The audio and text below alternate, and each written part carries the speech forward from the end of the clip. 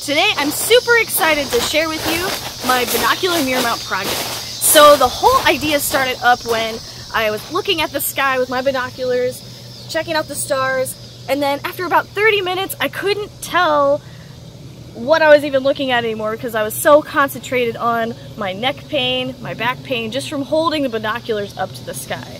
So first we have to get our equipment. I found this handy laptop tray on Amazon for $22.88. Super cheap, and then you just need your binoculars, which I'm sure you already have, and then a tripod to put the binoculars on. Now, the great thing about this setup is that the tray and the binoculars are both extremely customizable. So you could be sitting, you could be standing, you could uh, be on your tiptoes. Whatever's most comfortable for you, you can make it happen. And more importantly, in different situations, you may need a different setup. So once you have your equipment, you just need a high optical, high grade optical surface mirror. So for this project, I used a quarter inch thick glass first surface mirror with a one wave per inch surface flatness. Now this is great for binocular mount systems because the one wave flatness minimizes distortion as you're viewing through the binoculars onto the mirror and then up to the stars.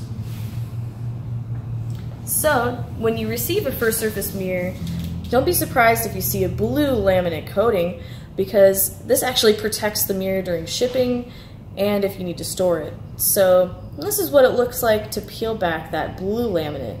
And then when you're ready to use your binocular mount, you would just take it all the way off to expose the first surface side.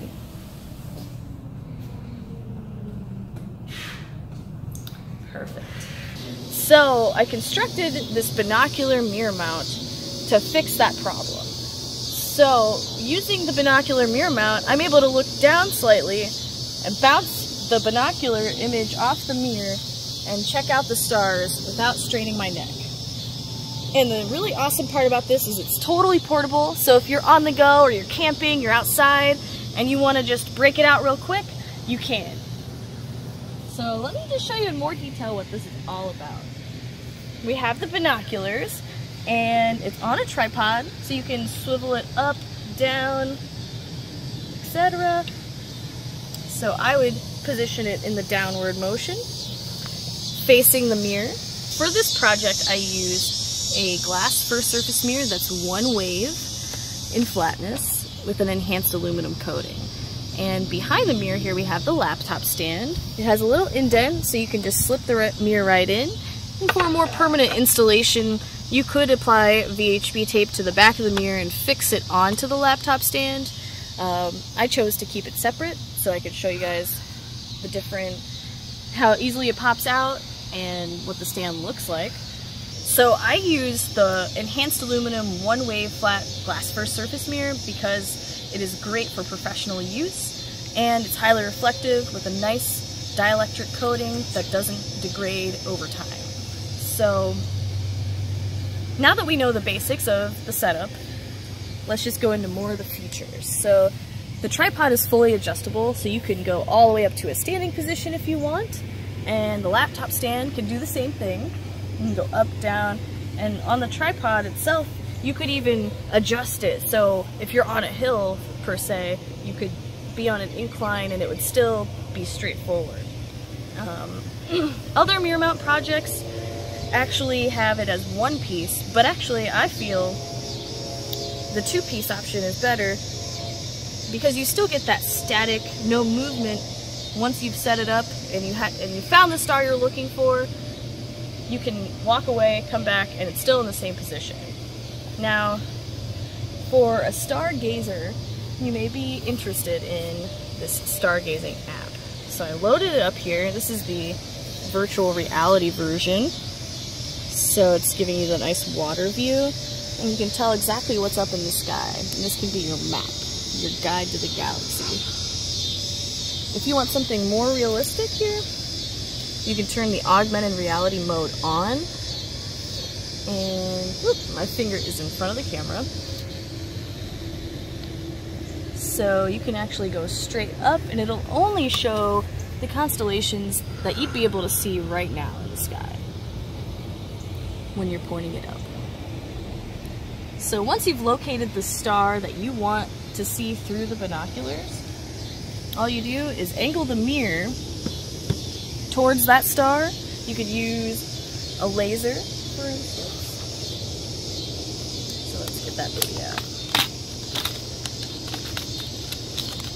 So the laser actually helps with getting the right angle. So once you've located the star you want to check out, you would just put your laser pointer right on the tip of the binoculars, shoot the laser, and then beam it up so you can tell exactly how to angle the mirror. You want to get the mirror angle first and then set up your binoculars to bounce off that mirror and get the location of the star. So, perfect. Alright, so with the glass first surface, you just want to be careful because it the mirror coating is on the front, so to clean it off, I actually use this Opti-Mist isopropyl.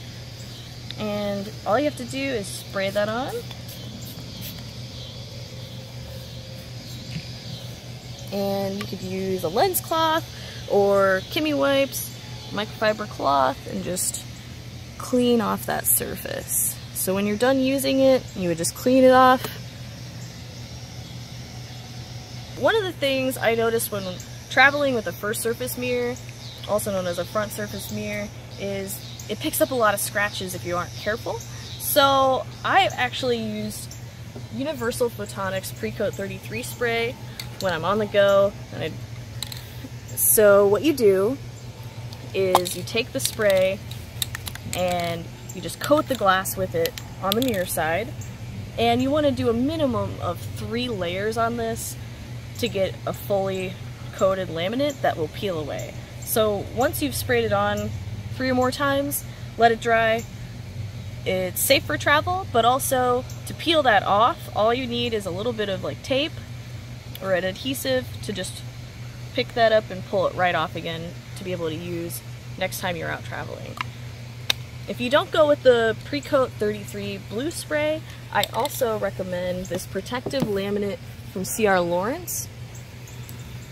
And it is really nice and easy to apply. You don't have to worry about the fumes as much. And then you would just simply pull this back like so. And then basically wrap the mirror with it.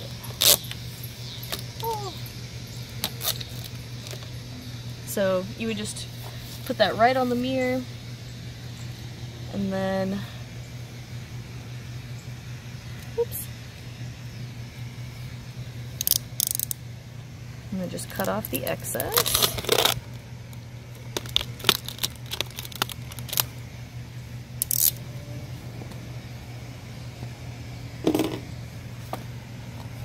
And then I would just wrap it around so it's nice and protected while you're traveling.